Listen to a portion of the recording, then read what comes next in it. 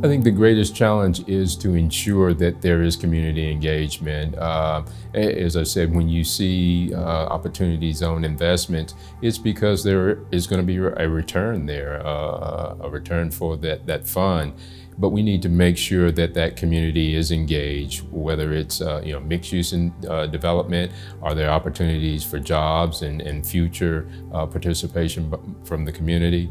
Uh, there is the potential for gentrification. You're going into areas that haven't typically uh, received uh, private sector investment, which is going to increase the value and property values in that area. So.